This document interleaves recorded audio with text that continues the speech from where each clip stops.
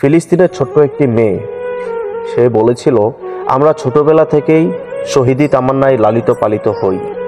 সুতরাং আমাদের জন্মের পর থেকেই আমরা অনিশ্চিত জীবন নিয়ে লালিত পালিত হয়ে থাকি। দর্শক, আপনারা এখন স্ক্রিনে যে এক পেপার দেখতে পাচ্ছেন, এখানে আরবিতে ফিলিস্তিনের ছোট্ট একটি বাচ্চা কিছু ওসিয়তনামা লিখে গিয়েছে। সে তার মৃত্যুর কিছুদিন পূর্বে সে এই ওসিয়তনামাটুকু লিখে যায়। সেখানে লিখেছিল মার হাবা আমার নাম হায়া। আমি আমার ওসিয়তনামা লিখে যাচ্ছি। এরপর সে অপশন দিয়ে লিখলো এক।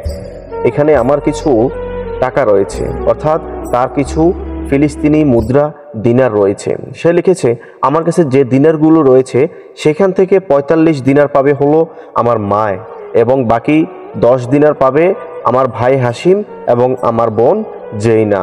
এবং পাঁচ দিনার পাবে আমার দাদির জন্য আর পাঁচ দিনার আমার হিবা আন্টির জন্য।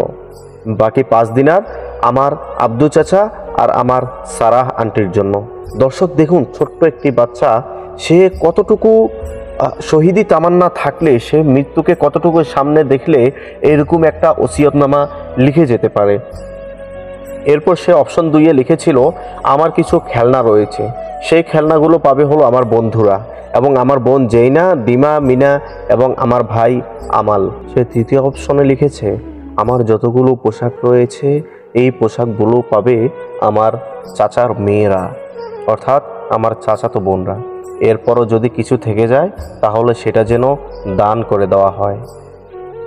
চার নম্বর অপশনে সে লিখেছে, আমার কিছু জুতো রয়েছে। এই জুতোগুলো যেন সব গরিব ও অসহায় মানুষের মধ্যে বিতরণ করে দেওয়া হয়।